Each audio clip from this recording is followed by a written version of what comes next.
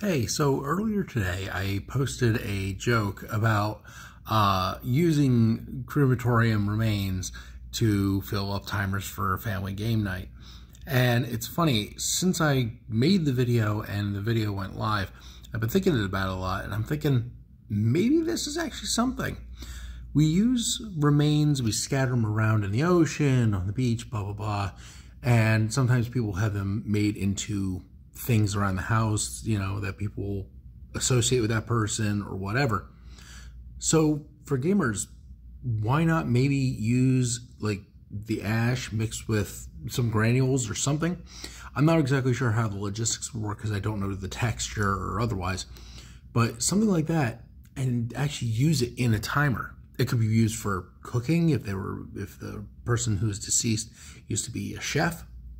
It could be uh, for family game night. It could be for whatever.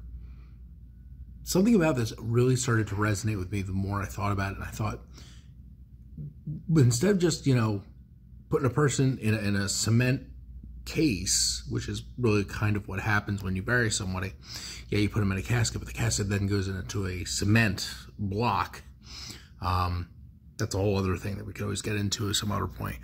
But why not if you're going to do the crematorium uh, route, why not actually have them as something that, you know, they loved and you can use? And I know that sounds almost kind of weirdly utilitarian, but why not?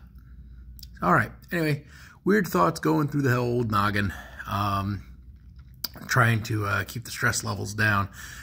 Uh, I guess that'll do it for this one. We'll see you guys next video.